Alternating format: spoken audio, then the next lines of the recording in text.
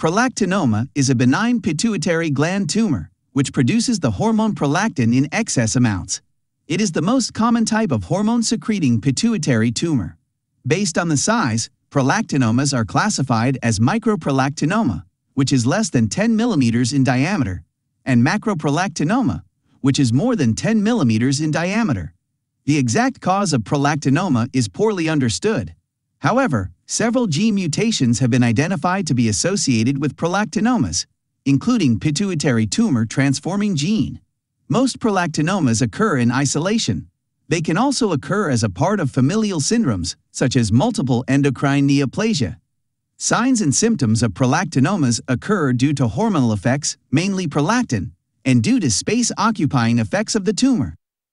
Symptoms due to hormonal effects include menstrual abnormalities such as absent menstruation, irregular, infrequent menstrual cycles, and delayed menarche, if the tumor occurs before puberty.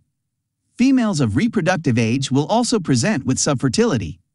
These symptoms of prolactinoma are due to the reduced estrogen levels, secondary to high circulating prolactin hormone levels. Females will also have galactorrhea, either spontaneous or expressive. Other features of hypogonadism in females include vaginal dryness, dyspareunia, or pain during intercourse, and reduced bone mineral density, which can lead to osteoporosis. In men, prolactinomas manifest as reduced sex drive, erectile dysfunction, and infertility. If the prolactinoma occurs before puberty, male child will have female body habitus with small testicles. If the prolactinoma is large enough to cause compression on the surrounding other hormone-secreting cells, secretion of other pituitary hormones will be reduced.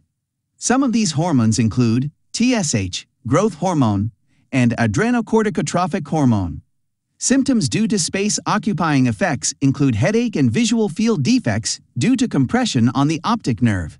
Since majority of patients present with features of hormonal abnormalities, Hormone testing is the first-line investigation in evaluating prolactinoma. Some of these tests include prolactin levels in one or more occasions. Pregnancy test because pregnancy is the commonest cause for absent menstruation. Serum TSH levels, testosterone levels in males, cortisol and insulin-like growth factor levels. A brain MRI is indicated for the visualization of prolactinoma. This is an MRI of a pituitary gland prolactinoma. Finally, the treatment of prolactinoma can be divided into medical therapy and surgical therapy. Bromocriptine is the drug of choice in the medical management of prolactinoma. If bromocriptine fails to relieve the symptoms, or it is not well tolerated by the patient, alternatives such as cabergoline and quinagolide can be given. Surgical treatment of prolactinoma is transsphenoidal pituitary adenomectomy to remove the tumor.